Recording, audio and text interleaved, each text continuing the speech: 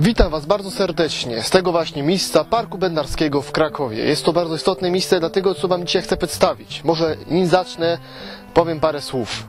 Kiedy wkraczamy w jakiekolwiek miasto, zwiedzać go, podziwiać jego zabytki, jego mury i czy jego nawet historię, musimy zdawać sobie sprawę, kto tak naprawdę go kształtował. Kim byli ci ludzie i czego oni dokonali.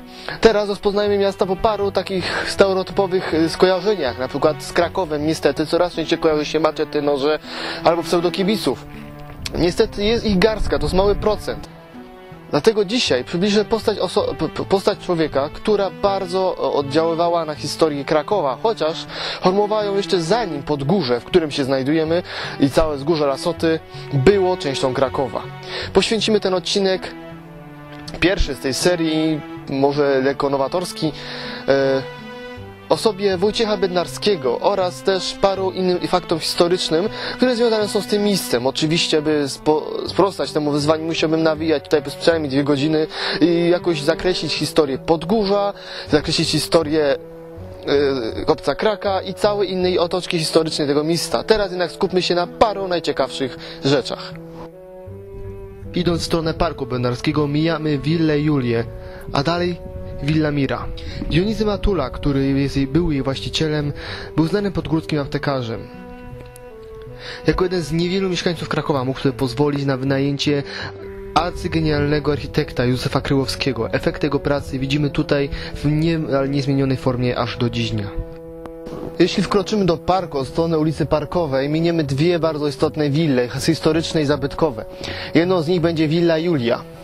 Na początku, e, w połowie XIX wieku była ona, należała ona do Wojciecha Bednarskiego, o którym tutaj mowa. Ostatecznie jednak została nazwana na część jego żony, Julii, z ro- rodziny Adamskich. Willa zmieniała swo- swoich właścicieli, tak jak i ten park, który został ufundowany i założony na wzór e, Parku Jordanowskiego przez Bednarskiego.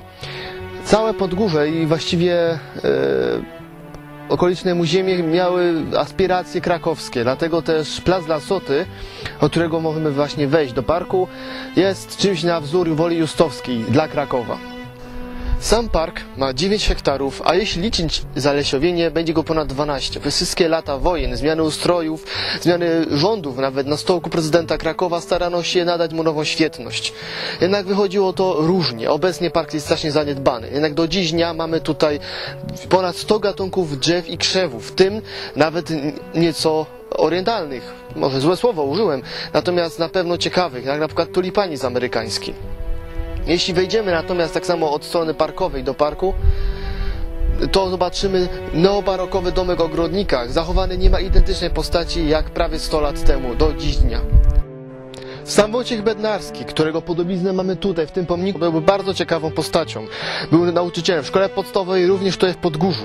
Ufundował ten park, który został nazwany oczywiście na jego cześć. Jednak ten park został położony, ulokowany na miejscu byłego kamieniołomu, które swoje początki ma nawet w średniowieczu. Samo wzgórze Lasoty jest sobie bardzo ciekawe. Nie tylko ma ten park, który kiedyś o dziwo tętnił życiem. Tutaj były kafejki, e, jeździły wózki z lodami i dzieci się bawiły na okrągło. Teraz jest to rzadkość. Też jest bardzo urokliwym miejscem. Tak jak mówiłem, miało być ozdobą dla całego Podgórza, a nawet i Krakowa. Po drugiej stronie natomiast znajduje się, po drugiej stronie wzgórza Lasoty, znajduje się bardzo ciekawa rzecz. Kopiec Kraka. W Krakowie i nie tylko w Krakowie, w całej Polsce jest bardzo modne stawianie kopców. Stawia się kopce Jana Pawła II, dla Piłsudskiego, dla Kościuszki, dla Wandy i mamy kopiec Kraka. Musimy wziąć pod uwagę, że Wandy i Kraka będą pierwszymi kopcami, które usypano w Krakowie. Tylko jeden z nich jest prawdziwy. O ile y, źródła mówią prawdę i znajduje się tam, gdzie się na- oryginalnie znajdował i nie miał takiej postaci jak teraz, mniej uroczystą, bardziej oficjalną.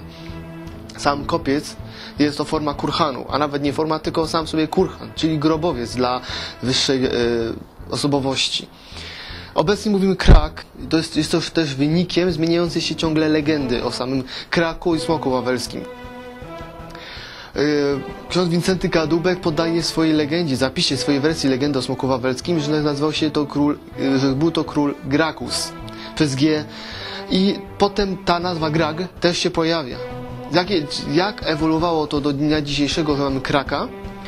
Można się łatwo domyślić. Może y, pewne, po pewnym sensie chodzą plotki, że też ważną, ważnym czynnikiem są tutaj kruki, do których zwykł się król radzić i do nich odnosić, jeśli chciał podjąć ważną decyzję. Tak właśnie w pierwotnej wersji o legendzie Smoku Wawelskim się stało. Król, który, którego miasto, Nowy Gród, które zostało uformowane na Wzgórzu Wawelskim, tak wtedy jeszcze nie nazywanym, poszedł się radzić mądrego białego kruka oraz jego pobratyńców, co ma zrobić z poczwarą. Ostatecznie wziął miecz i ryzykując własnym życiem ukatrupił potwora. Więc inaczej o żadnym szewcu dratewce nie ma tutaj mowy. Król został bohaterem, dlatego usypano mu kurhan. Właśnie tutaj, niedaleko, obok na wzgórzu Lasoty, na miejscu modów e, słowiańskich, bóstw słowiańskich. Dlatego wydaje mi się, że odrobinę paradoksalnym pomysłem jest budowanie dla istot, dla istot, dla postaci chrześcijańskich kurhanów pogańskich. Ale może tylko ja, może tylko ja dostrzegam tą ironię?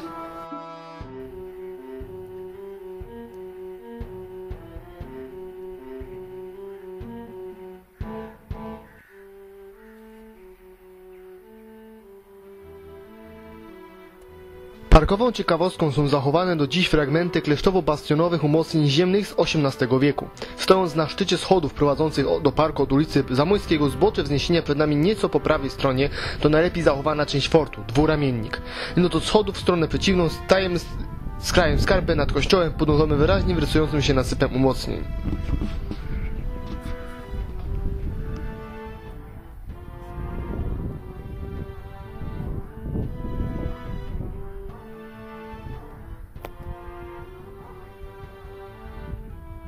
Moi drodzy, mam nadzieję, że wybaczycie mi dociągnięcia pierwszego odcinka, jak i skąpą ilość informacji. Jest ich po prostu za dużo, nie wiedziałem co na początku wybrać, a czas z powodu sesji, tym się muszę usprawiedliwiać, jest, mam bardzo ograniczony. Chciałem jednak to teraz zacząć nauczyć się czegoś i po tym coraz skuteczniej przekazywać wam informacje, które są dla mnie tak bardzo istotne. Dla mnie, człowieka, którego po prostu szlak trafia, kiedy słyszy te wszystkie nowoczesne pomysły, typu... typu a może pomijmy to, nie, nie idźmy tą stroną, nie idźmy w tym kierunku. Po prostu chciałbym, by każdy pamiętał, że kiedy wchodzicie w miejsce, które ma swoją historię, które w jakiś sposób ocalało te burzliwe dzieje, jest kupa ludzi i kupa rzeczy, o których się nie mówi w książkach, o których się nie podaje tak często, albo w ogóle, jak się powinno. Dlatego chciałbym to, co mi się udało wyciągnąć z tych otchłani dziwnych, yy, błotnistych rzeczy, wam przekazać jakoś żebyście zrozumieli, czemu ja jestem tak zafascynowany moim ukochanym miastem. Nie tylko Podgórzem, którym naprawdę mam mniej wspólnego, ale całym Krakowem i też garścią innych miast. Nie mówię tutaj, nie chcę być jakimś rasistą miastowym, nie pominę tutaj żadnego miasta, chociaż może troszeczkę mniej skupię się na takich miejscach jak Radom czy Sosnowiec, ale na pewno w przyszłości, jeśli ta seria się przyjmie w jakimkolwiek sposób, a nie jest to moje pierwsze podejście do serii Parakrak, będę chciał komentować nie tylko historię, nie tylko ciekawe postacie, ale też pomysły obecnych władz i to, co się dzieje. Jest tutaj cała lista rzeczy, które mógłbym wymienić. Z tego miejsca Wam ogromnie dziękuję za tą uwagę. Liczę na to, że dacie mi kredyt zaufania i pozwolicie się rozwinąć w tych nowych serii filmików. Jednocześnie obiecuję, że nie zaniecham wszelkich prób kręcenia recenzji i gameplayów i będę coraz częściej na nowo z nowym sprzętem przekazywał Wam istotne informacje ze świata gier, jak i ze świata mojego miasta. Dziękuję Wam bardzo serdecznie, do zobaczenia niebawem.